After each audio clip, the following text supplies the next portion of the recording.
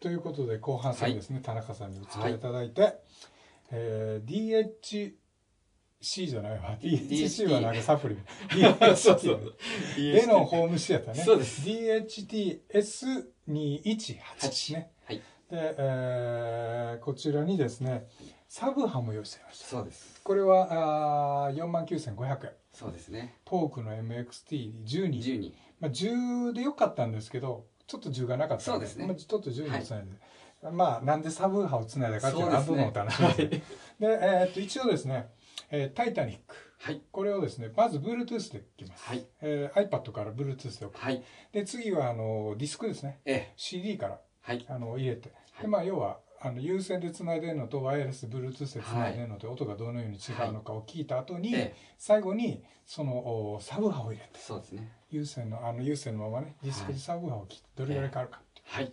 チェックしていこうと思います。では「タイタニック」まず Bluetooth 入力から聞いてみたいと思いますはい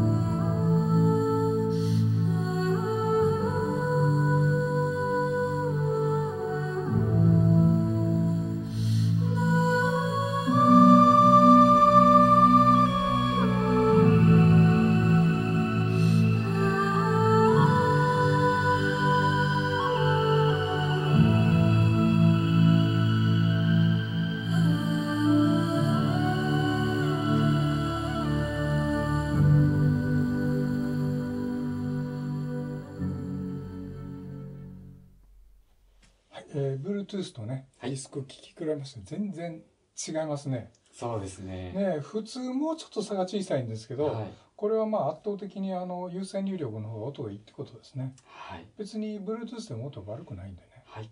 ではこのサブウーハーをね。こんなものにサブウーハーつけて そうですこれちょっとやってみようと思います。はい。はい、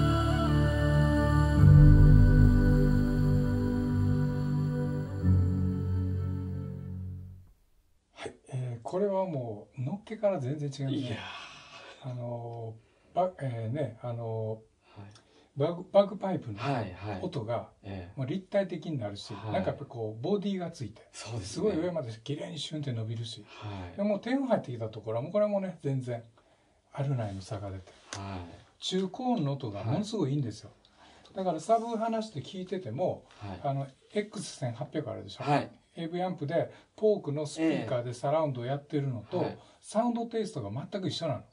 細かさとかははい。変わらない、あと足りないのがはい。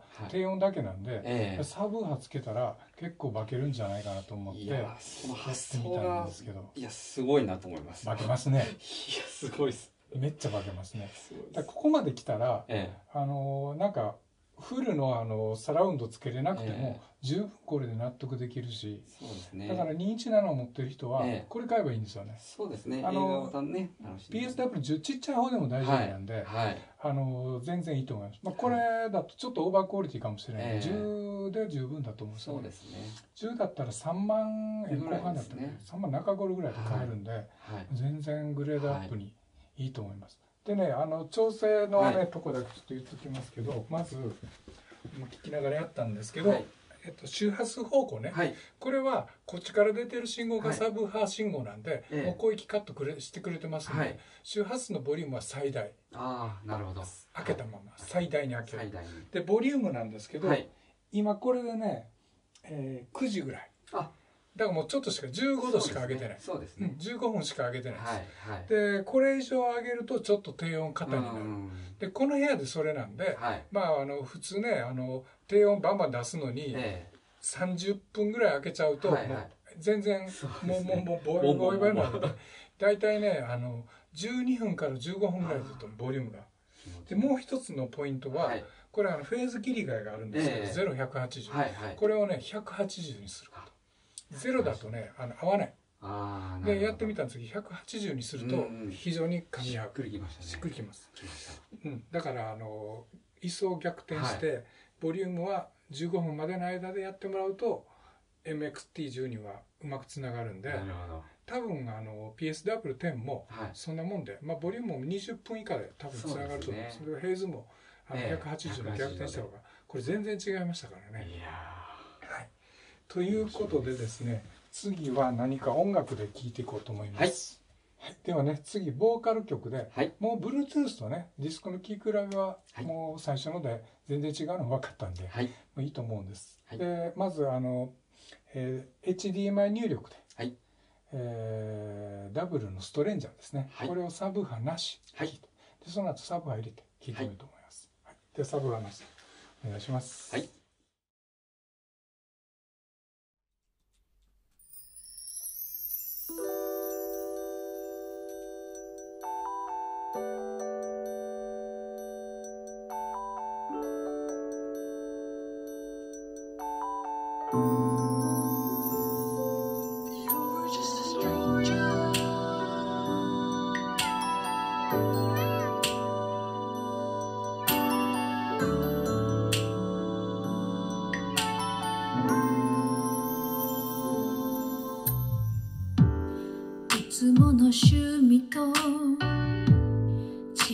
気がした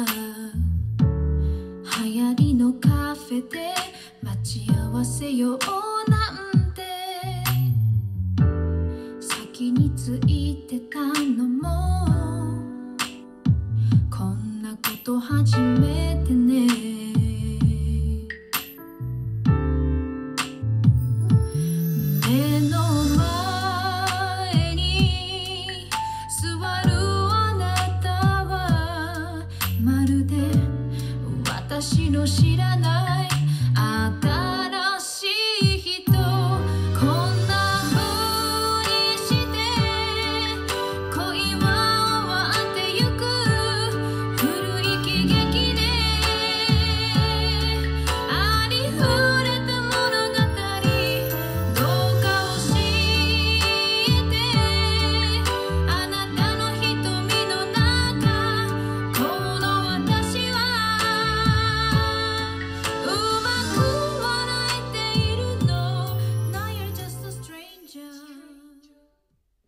まずねサブ話してストレンジャーを聞いてみましたけど、やっぱりねあのこのアンプ一体型で作ってるスピーカーって、はい。やっぱり聞いて全部聞いて作るじゃないですか。だから他にスピーカー買ってきて置くんじゃないんで、はい。音が整ってるんでこれもう山内さんが目指すはい。あのビビートスペシャスの X1800 とかね、はい。もうあの A1 まえで通じるはい。山内サウン山内さんサウンドで完全に出ててぱりあのきめ細かいし、はい。女性の声の質感も高い。だから今これがまああの3万強じゃないですか、ええ。で PSW10 にしたら3万強両方で7万でしょ。そうですね。だから下手な5万ぐらいのあのなんか一体型コンポにはい。5万ぐらいのブックシェルフ作るより、だってサブ波つくんだから、はい。はるかにいいですよ。ね。で517のついてるサブウーファーより、はい。まあ、PSW10 とか、ね。あのこの中ねね。うん、あの XC12 は全然サブ波の質がいいんで、はい。中高のこれが質がこれだけ良ければ517買わなくてもこれとサブ波っていうのもありかなああそうですね。きますしますね。ですよね。ではあの同じようにサブ波を入れてですね、はい。えーストレンジャー聞いてみようと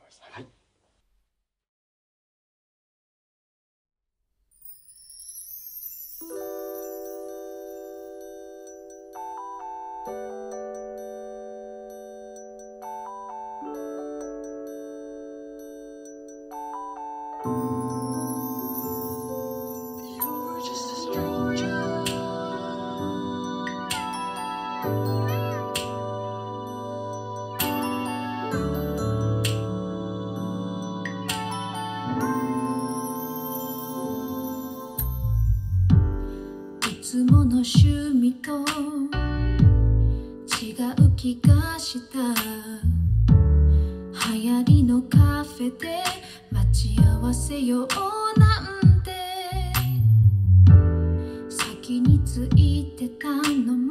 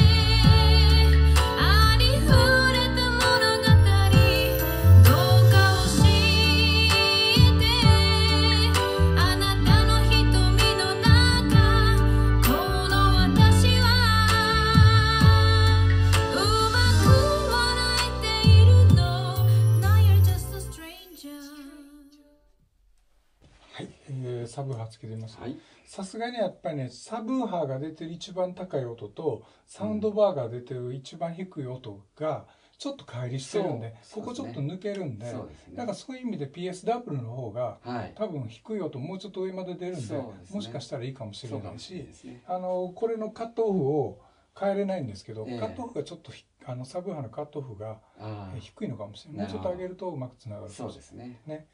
はい。それではねこの S218 音質チェックの締めにですね、はい。